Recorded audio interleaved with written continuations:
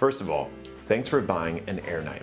I'm Chris with AirKnight, and in this video, I'm going to walk you through how to use and understand your AirKnight AK1000 air quality monitor.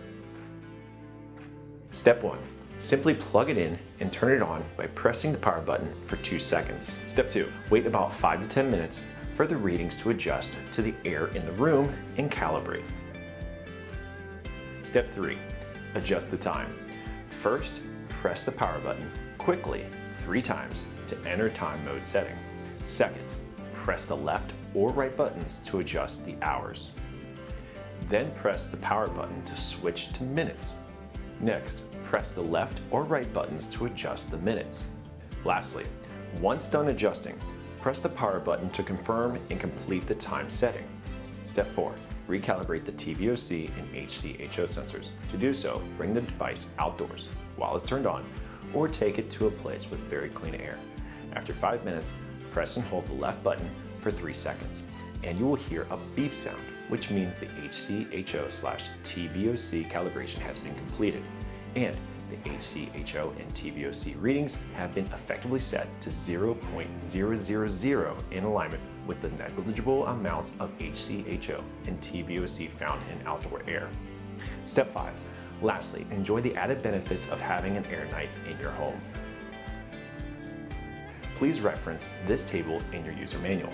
Generally speaking, the targeted ranges are as follows. CO2 less than 1000, HCHO less than 0.1, TVOC less than 0.5, PM 2.5 less than 20, PM 10 less than 40. Temperature in the 65 to 79 range, and humidity in the 30 to 60 range. Tip number one, open a window.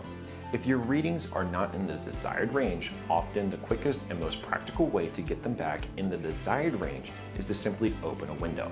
This obviously does not apply if you're located in a wildfire area or any other area with compromised outdoor air quality.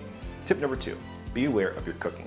Despite giving off those wonderful smells we all have come to know and love, cooking often releases increased amounts of unhealthy pollutants into the air, including but not limited to CO2, PM 2.5 and 10, and VOCs.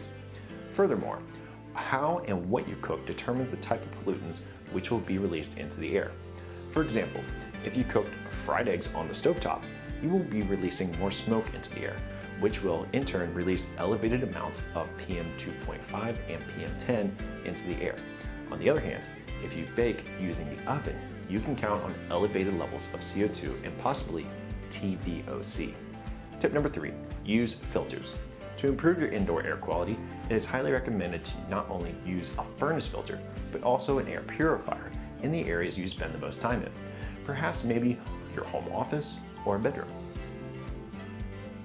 For more detailed information of each and every air quality metric, including the definition, impact on your health, possible causes of a high reading, and tips to improve your air quality, please reference the user manual. I hope this has been helpful. If you ever have any questions or concerns, you are more than welcome to contact us at the contact information shown below and in your user manual, and we'll always do our best to help.